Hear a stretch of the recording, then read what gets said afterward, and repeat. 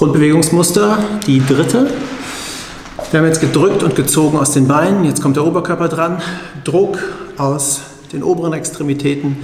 Bekannteste Übungen Liegestütz oder das Bankdrücken. Wir arbeiten mit der Brustmuskulatur, vordere Schulter, der Trizeps arbeitet. Ähm, ich zeige euch einige Varianten.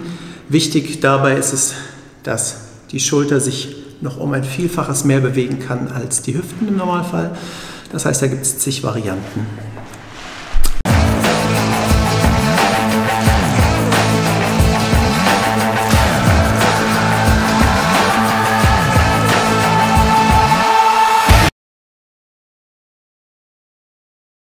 Wir widmen uns den Druckübungen aus dem Oberkörper.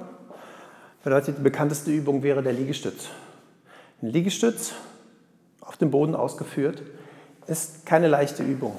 Das heißt, hier die Position in Hüfte, Rücken, Schultern, Ellenbogen, Handgelenken zu halten, erfordert viel Übung. Wir versuchen eine Progression zu finden, die das Stück für Stück ermöglicht. Die erste Erleichterung ist es, das Ganze mit Druck an der Wand oder auf einer Erhöhung, am Tisch, am Stehpult oder hier der Bank zu üben. Bedeutet hier Stück für Stück abzulassen, wieder hoch. Nicht den Punkt überschreiten, ab dem es nicht mehr in sauberer Form hochgeht. Und erst wenn hier die Möglichkeit besteht, mit der Brust zu berühren und wieder hochzukommen, in stabiler Form, entweder die Füße erheben oder die Auflagefläche erniedrigen. Grundlegende Punkte sind, wir versuchen nicht, die Schultern zu den Ohren kommen zu lassen, sondern die Schultern bleiben möglichst neutral zentriert. Das erreichen wir vor allem durch die Spannung des breiten Rückenmuskels, der immer die Schulter unten hält. Jetzt ist es so, deswegen, die Ellenbogen sollen nicht hier hochwandern. Ellenbogen bleiben ungefähr 45 Grad weg vom Oberkörper. Zu nah haben wir nicht so eine gute muskuläre Aktivierung. Zu weit wird es in Sachen Verschleiß, Impingement, Position der Schulter nicht so gut. Funktioniert das gut? Gehen wir weiter runter, weiter runter.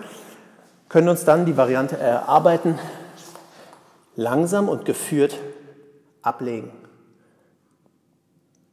Wir können immer besser ablegen als hochdrücken. Das heißt, hier wählen wir jetzt den Weg über die Knie hoch, wieder nach vorne, ablegen.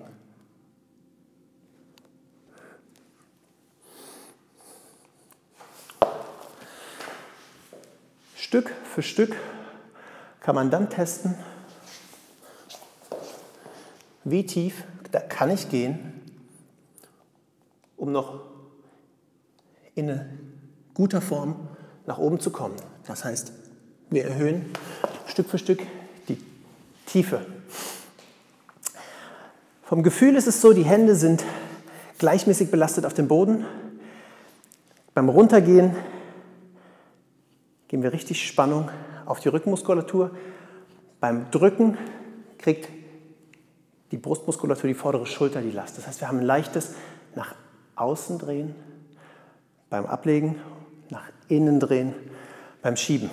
Vergleichbar mit der Bewegung beim Boxen. Es wird gedreht.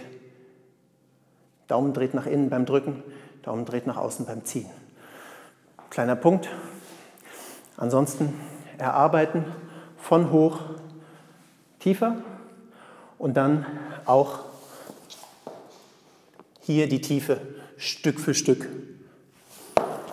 erweitern. Unser Schultergelenk kann in einem sehr großen Bewegungsradius bewegen. Das heißt, wenn wir drücken, sollten wir nicht nur in eine Ebene drücken. Es besteht die Möglichkeit, Gewichte nach oben zu drücken. Es besteht die Möglichkeit,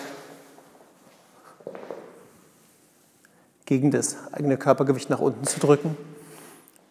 Somit haben wir die Bewegung nach oben, nach unten, nach vorne, wäre der Liegestütz. Man kann auch den Liegestütz etwas variieren über die Zeit. Das heißt, wenn ich aus der Position mein Becken Stück für Stück höher setze und anfange hier runter zu gehen. Irgendwann unter Umständen die Füße auf die Bank stelle, bewege ich mich in Richtung Liegestütze im Handstand. Kann somit wieder mit Körpergewicht nach oben drücken, vorne drücken, nach unten drücken und die Winkel dazwischen. Das ist wichtig für die Gesundheit des Schultergürtels.